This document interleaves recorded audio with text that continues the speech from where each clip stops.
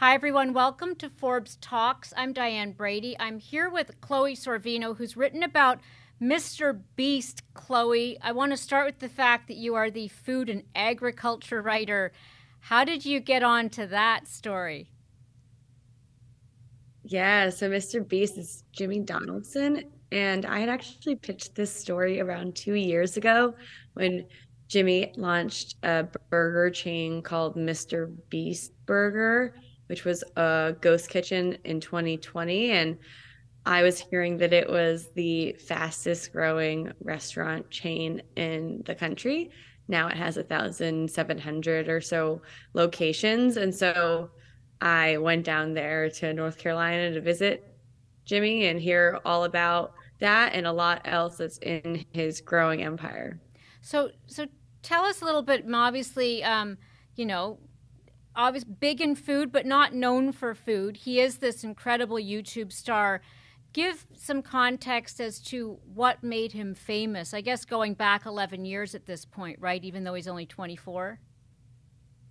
Yeah, so he is a superstar creator. He's the top earning creator in the country.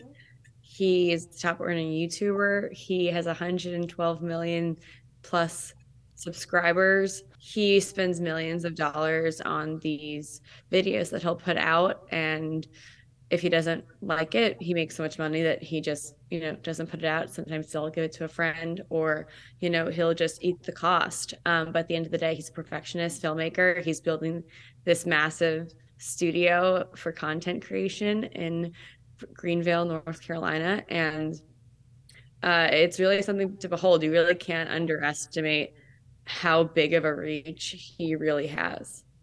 So he is on, I take it, our 30 under 30 list, right? And and give us some sense as to um, the the scope of what he does. First of all, his technique. That I know him for the guy who puts people in a circle and the last person out gets 500,000 or he recreates squid games. I mean, they're very elaborate stunts. This is not somebody playing a video game and we're watching him do it did you get some sense as to like how he plans these things or just even the sheer amount of money and people it takes to pull off these you know what's essentially more entertainment than stunts?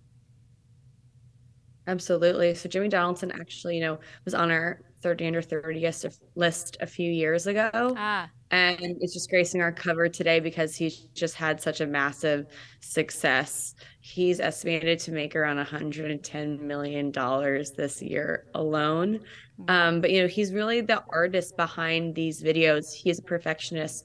You know the day that we visited um, he had started the day before at 9 a.m and he was up until a solid 5 a.m of the day that we the four whole Forbes crew came to interview and do the photo shoot because you know he was just with the editors tweaking different videos, working on concepts, making his posse surrounding him, you know, play a game of chess around, you know, late into the wee hours. But uh, he is really been studying virality since he was 11, he says, and he has made a point of, you know, saying no this perfect combination of giving money away and um, spontaneity and doing this absurd you know larger than life stunt creation that um, has really been what he's become known for. And some of the videos truly are wild. You know what behind every 11 year old my my belief is there tends to be a parent you know? I mean genius though they may be parental access, you know, ecosystem of, of support. Did did he have somebody in his family who really was instrumental at that age, at least, at getting him onto the platform and helping him establish himself? Well, actually, quite the opposite. You know, he was the younger son of a single mother who worked in the military and worked two nights a week you know, overnight. And so he was alone a lot at home uh, at night, you know, watching YouTube, watching videos and trying to figure out, you know, again, what is viral. And uh, at a certain point, at some of those late nights, he started borrowing his brother's old computer that didn't even have a microphone and bare bones, you know, putting together an equipment rack and then, you know, try, starting to do his some of his very earliest crudest videos. Um, and, you know, it eventually, you know, as he got views and subscribers, was able to make money, he reinvested it. The big turning point from him was actually, you know, getting uh, a used iPhone that he could shoot video on because it had a microphone in it. Um, but his mother didn't actually even really know what he was doing up in his room. She had no idea, and he only told her really when he reached around 10,000 subscribers. Wow. That's the power of parental neglect. Yeah, but she really, you know, forced his hand because, you know, he was living at home. He, you know, he was doing YouTube since again he was at age 11, started the channel when he was 13 and you know he he ended up going to community college and a few weeks into community college decided that he really could just do this whole youtube thing full time but his mother who actually got to interview because she still works for him uh, she was down in greenville and she had previously told him that you know if he did it full time she just wouldn't let him stay under her roof he had to you know she didn't want to kind of let him mooch um, and what happened was when he dropped out to do it, she stuck to her word and kicked him out. So he dropped out of college and she kicked him out of the house. And he ended up renting a house nearby and they had a good relationship. And, you know, she eventually, you know, as the company grew, she became, you know, an HR person, a different accounting role over the years, an advisor, um, still very much uh, has a big office that I saw him um, as a key part of the company. Um, and even, there's even a video of him surprising her with a hundred thousand dollars to pay off her house mortgage. That's that's on my to do list for my kids too. Surprise me with a hundred thousand dollars, but um, I, I'm curious about because he's such a well known character in a way. What what was he like when you saw him? Was he what you know he appears to be on on these videos? Did you anything notable that stood out to you? Because you know we don't often get to meet these people when they don't have a camera pointed in their face. So Jimmy was always a really shy kid, and he continues to be a kind of shy and socially awkward creative uh, in real life. He's extremely tall. He has a very big presence, but at the same time, he's understated and, you know, doesn't really, you know, talk unless he, he really really wants to um, often surrounded by a posse and uh, you know was a bit uncomfortable at the idea of a photo shoot with a lot of people watching him which you know i think a lot of people can relate to. I think you know the the personality you see on the youtube videos and i asked him about it you know it's it's this kind of more outgoing side of himself that uh, is more of a character in a lot of ways. And he feels way more comfortable talking straight into a camera than sometimes he does talking to people. So, as an entrepreneur, I've been intrigued by his business model, and you do write about this in the sense that, you know, a lot of people maybe they become famous, then of course, lots of brands come to them to try and get them to endorse, you know, the products and such.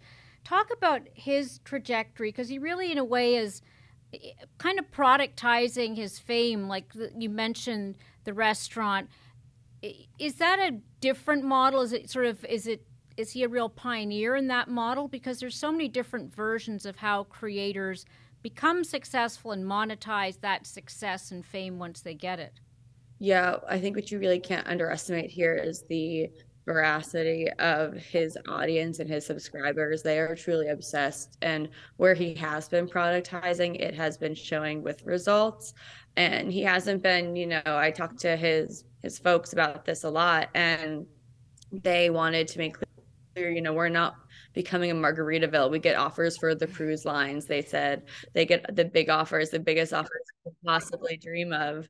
And you know uh, he's he's doing this burger chain which is again one of the fastest growing in the country and now has around 100 million in revenue a year and only from again a bunch of virtual kitchens but still you know only one real full restaurant they're going to be building a lot more in the next year to come so there's a lot of growth uh, and they all, he also launched this uh, Feastables line, a chocolate grocery store brand uh, that he had launched with the Crazy Willy Wonka themed video on YouTube, of course. And there's a video game coming out. There's a lot more that will be, you know, adding to, but he's really trying to maintain a, a funnel and food specifically seems to be a big area of focus for him. He's not as prolific as some other YouTube stars. You know, obviously what he does put out is more of an event. You know, how um what does that say to some extent? Maybe it doesn't maybe it's just, you know, a unique quirk, but um you know, the volume and body of his work is not as large as some people who are constantly creating um, a stream of videos. He he seems very deliberate. Does he plan it out for quite some time? Yes, absolutely. They spend months from from start to finish of idea to shoot to concept ideation editing. Uh, he is uh, a perfectionist again in every sense of the term. I mean he was up editing until five in the morning the day of his forbes magazine cover shoot. Had someone who doesn't really care about the bags under their eyes you know? Um, and it's because he loves what he does and he has has been quoted in my feature and in videos and in our extended interview that we did in greenville about how he just obsesses over it. He says he's like a zombie. It's like cocaine to him, he says. He is just at that phase, he compares himself to like an early, early Elon Musk, where he's just so in it right now. And he wants to sell all of his belongings and just, you know, have everything he owns on a bed that's in the office and live there. And he just wants to work and, and build this. And one day maybe he'll do something else if he can maintain this crazy place in the universe that he, he is. But you know, for right now, he's just a zombie doing this studio thing, editing, figuring out these videos day in and day out. Is there any downside? I'm, I'm comparing him probably unfairly to people like uh, Bo Burnham, very different, obviously, but you know, people who got fame at a very early age and then have, in some ways, turned against or, or be, have a complicated relationship with the medium that made them famous, especially if you're extremely shy. Um, is that something he has talked about, or has he really just embraced the potential and it's all good? I mean, he just really has a pulse on his audience. His audience is quite young, um, and they are obsessed. Uh, and, and and in that sense, he he's really a long YouTube believer, and they're loyal to him. Um, that said, I mean, I think he'll say it himself, and he has said it to us in the interview that we got. And he rarely speaks to media, by the way. Um, but you know, he you know says that it's it's going to be his kind of key challenge in the next decade to maintain this position with his fans and maintain this obsession that they have for him. Uh, because right now it is the biggest and most loyal audience in the entire world in some ways was there anything that you gleaned that you thought, huh, that's something that is actually useful in terms of the way he works, his mindset around work? Certainly, he captures that Gen Z zeitgeist, but anything else you walked away with sort of thinking as a this is why this guy's so successful? It was refreshing to me to see, you know, while he has Lamborghinis often in his videos, and like that TikTok generation is known for this, like loving this like uber lux life in so many ways, that he has shunned that too, and he doesn't have that Lamborghini that he's driving to work anymore, um, and he's really embraced you know, trying to not have a really exorbitant lifestyle. He talks about that, like fueling his entrepreneurialism because he's able to just reinvest all of his profits and everything he earns from these millions and millions and billions of views, you know, back into this next crazy stunt video. And if he had like the 20 Lamborghinis and huge houses with crazy mortgages, he just wouldn't be able to do that and have the risk there. Um, and so I think he's in this very unique phase of life where he's making so much cash and able just to reinvest so much back and really is able to live uh, a very very cheap lifestyle in Greenville, North Carolina, and not have a, burn a lot. Um, and so you're seeing this wild Gen Z take on like the American dream playing out on YouTube. Um, before I let you go, did you get a sense of his mission? You know, in terms of what I know certainly he does want to reinvest. He doesn't want to be living that lifestyle. But um, what purpose does he think that his videos serve other than entertainment?